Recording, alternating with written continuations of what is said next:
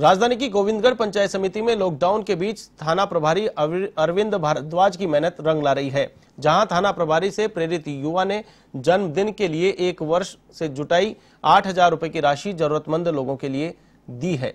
युवक भरत शर्मा ने थाना प्रभारी को जमा राशि को सौंपते हुए कहा कि मेरे जन्मदिन इतना महत्वपूर्ण नहीं जितना गरीबों की भूख मिटाना है। वहीं युवक की भावना को देखकर थाना प्रभारी अभिभूत हो गए, जिन्होंने युवक को उज्जवल भविष्य की शुभकामनाएँ दी।